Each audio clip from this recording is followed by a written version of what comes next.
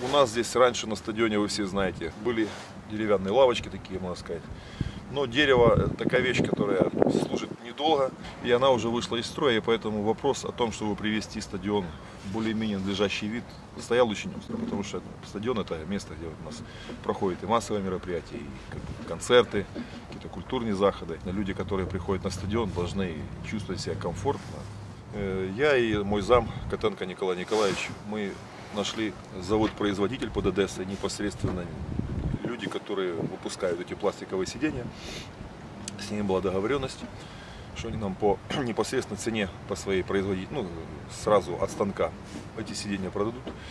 Я вышел с таким предложением на голову плановой бюджетной комиссии Лукинского Юрия Леони- Леонидовича. И надо отдать ему должное, что он услышал, проникся этим вопросом. Ну и мы два года это все дело мониторили, ходили. Я был на комиссиях, мы общались с депутатами. И вот э, 7 месяцев назад нам эти деньги выделили.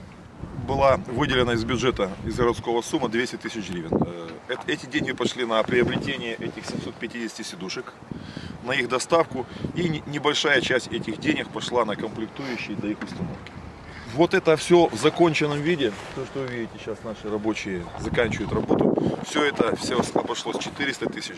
Это люди, которые действительно все это вытащили на своих руках, плечах. Это наши рабочие Фасенко Николай Александрович и Барабаш Владимир Степанович. То есть они вдвоем э, провели высокотехнологическую работу по свариванию и установке конструкций металлических Э, То есть это очень сложная работа.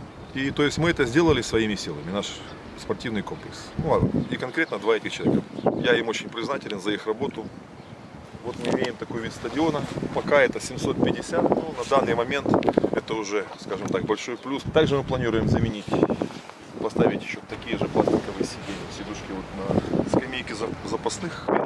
Ну и также вы видите, что мы делаем судейского домика на стадионе, который имел тоже, скажем так, не очень презентабельный вид. И вы видите, что у нас тоже идут здесь ремонтные работы.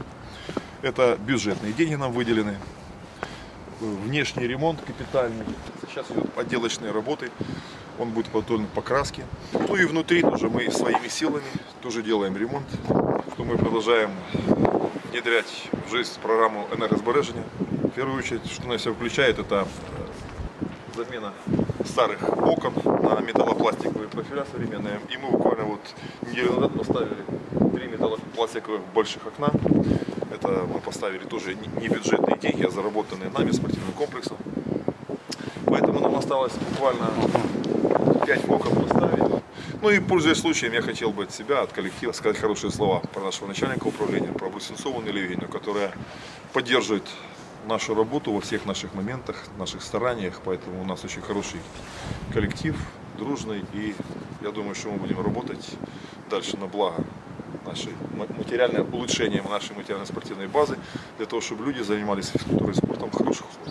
Понятно, что сейчас мы все переживаем такой непростой момент в связи с эпидемией коронавируса, но коронавирус, знаете, как сегодня есть, а завтра, дай бог, мы все-таки все надеемся, что его не будет. Ну а нормальная жизнь города и страны будет продолжаться, поэтому вот это, что делают, что мы делаем здесь, поэтому это очень важно для города, я считаю. И пользуясь случаем, я хочу обратиться ко всем э, нашим жителям, молодежи. Э, Большая убедительная просьба. Вы когда будете приходить сюда на стадион, то чтобы вы прекрасно понимали, что здесь вложен человеческий труд, человеческий труд. Здесь люди очень много работали, трудились, очень многие люди были задействованы, чтобы привести это все в порядок, чтобы можно было прийти в прили- на приличный стадион. Поэтому берегите, пожалуйста, то, что сделано людьми для вашей, для вашей